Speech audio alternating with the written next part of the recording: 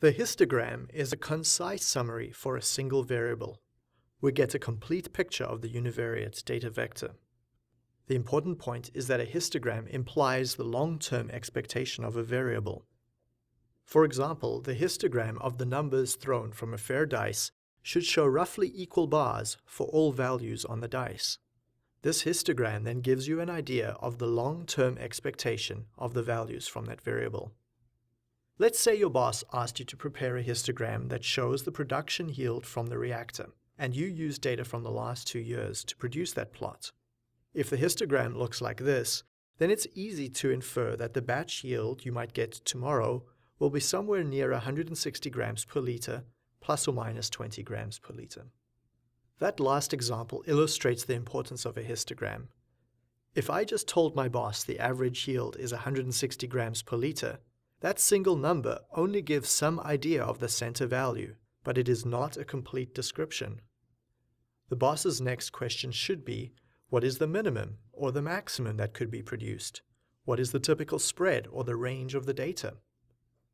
In the next video, we show some interesting questions that can be answered from a histogram. If I gave a histogram right away, then the boss wouldn't need to ask those questions.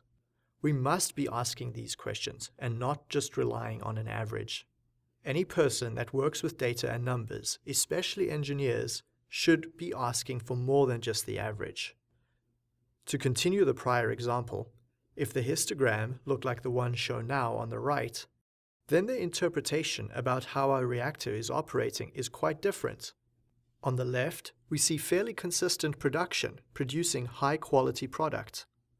On the right, we see poor quality, high variability from our reactor, even if the averages are the same.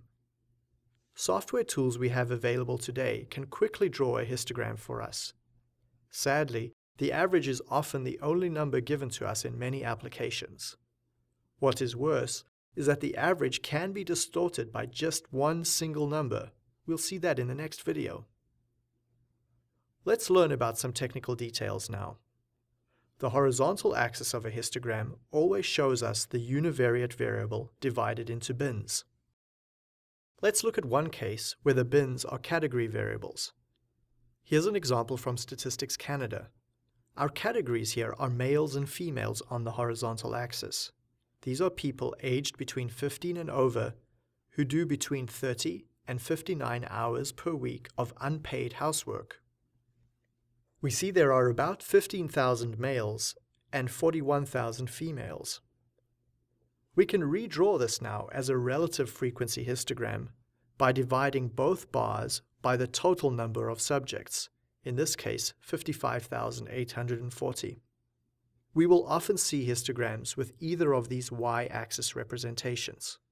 The benefit of using a relative frequency, as shown here on the right, is that we can make quick comparisons between different data sources. For example, if we found the data from Toronto, it is hard to compare Toronto to Hamilton because of the different number of subjects. When we show the plot with a relative frequency for Hamilton, we can compare it easily to Toronto side by side, and we see the proportions are almost the same. It is important to note here that the area under a relative frequency plot will add up to 1, or another way of saying that is 100%. Let's consider the case now when the x-axis is a continuous variable or an interval variable. We can divide that variable up into a certain number of bins, and usually we will use at least four or more bins, often more. Let's use another Statistics Canada dataset. These data shown as a histogram here, reveal the spread. They point to an eyeballed average of about $30,000 of annual income. And you can see the asymmetry.